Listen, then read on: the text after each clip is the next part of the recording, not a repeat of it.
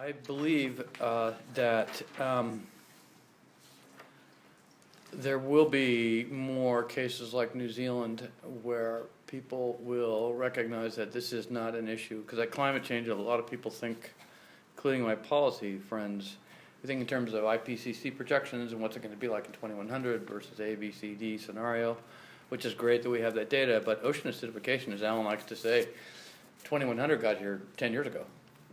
Don't talk to my oysters about 2100 projections. They don't need to hear it. They're already dead.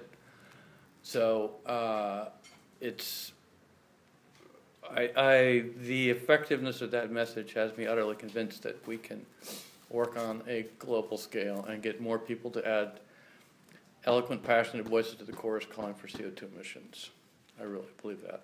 And we're all humans, and I think if we did the same thing in China, that we did in New Zealand, the people would listen. Uh, let's face it. Really that you have this. We all respond. Granted, there are cultural differences, but you know, fundamentally, we all respond to the same issues and needs. Uh, so I, I, I believe that's why I do what I do.